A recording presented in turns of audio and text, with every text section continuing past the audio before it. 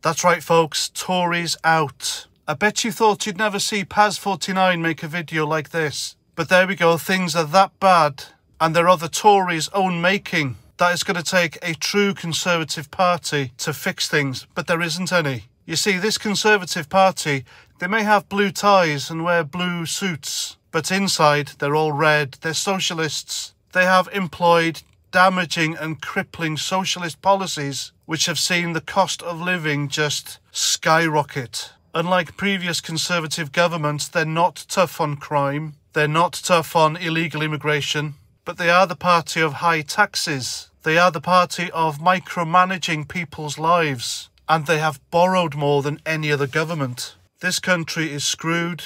And as for Boris Johnson's green policies, they're impossible, and people simply could not afford it. Now, one of the worst culprits in the Conservative Party is Rishi Sunak, the Chancellor of the Exchequer.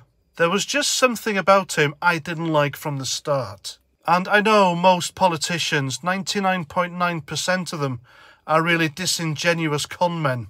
But this guy, I felt we should all keep an eye on, and I was right. Because it turns out he's a bit of a tax dodger. And it's not only him, it's his wife as well. This smug git thought he was doing us all a favour by taking five pence off the price of petrol.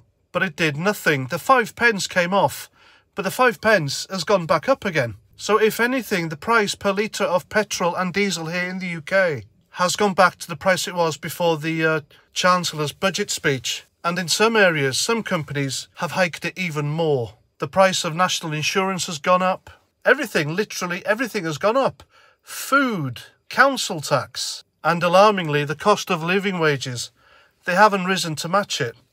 And that's a real concern. So while Rishi Sunak, the Chancellor of the Exchequer, raised taxes, increased what the government takes out of your pay packet. He and his wife have been dodging taxes. These two have been on the make for quite a while. For example, he gave his wife's company around £1.3 million of plague recovery funds.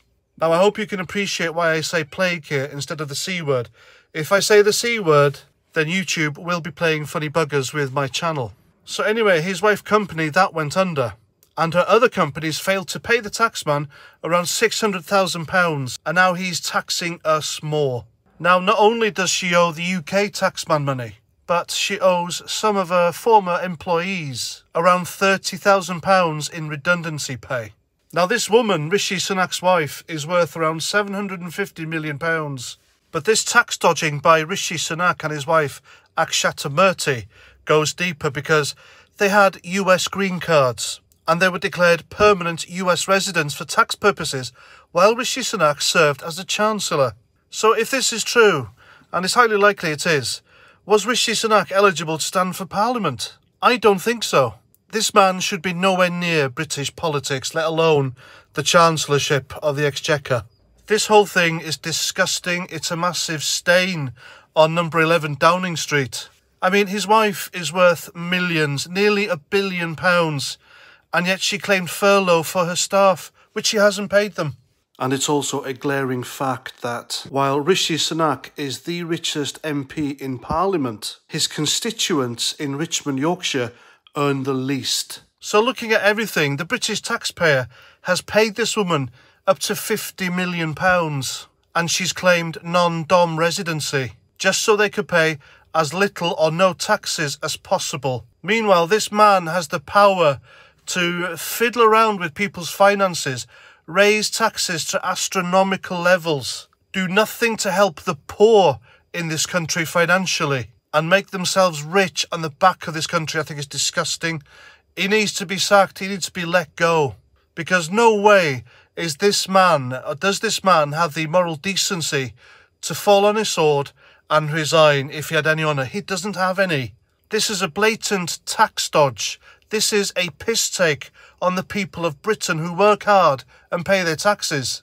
And of course, let's not forget that photo of Rishi Sunak where he borrowed a little red Kia Rio from a Sainsbury's employee to fill up with petrol for a photo opportunity just before his spring budget speech instead of using his government issued Jaguar. So this tells you that this man will go to huge lengths to lie to the voters that he's a man of the people, when in fact he isn't. This man and his wife have absolutely no idea about the struggles and the lives of ordinary men and women in Britain who work hard to keep what they've got and pay their taxes. I mean, no doubt on Monday, or guaranteed next week at least, after talking to advisors all weekend, because this is a huge story, he'll come out with a statement saying he made a mistake, he's sorry, and he'll pay any money owed. And that will be the end of it. And he will continue to be the Chancellor of the Exchequer.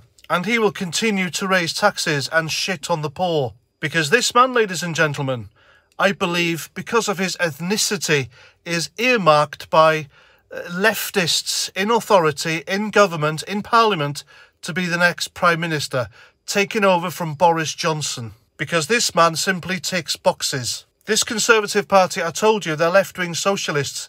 They are desperate to show Britain and the world how woke and progressive they are. So, no doubt, this man and his tax dodging wife, they will both end up in Downing Street sometime in the near future. But what do we have instead of the Conservatives?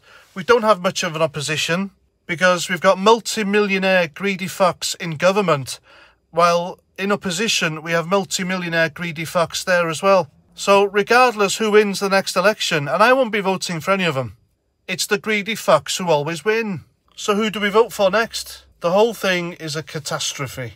It really is.